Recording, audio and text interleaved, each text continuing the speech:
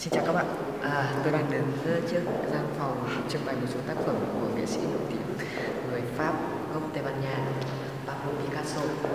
Và ngày hôm nay chúng ta sẽ tiếp tục khám phá một sự vẽ của người nổi tiếng đại diện cho trường phái chủ nghĩa tượng trưng. Tuy nhiên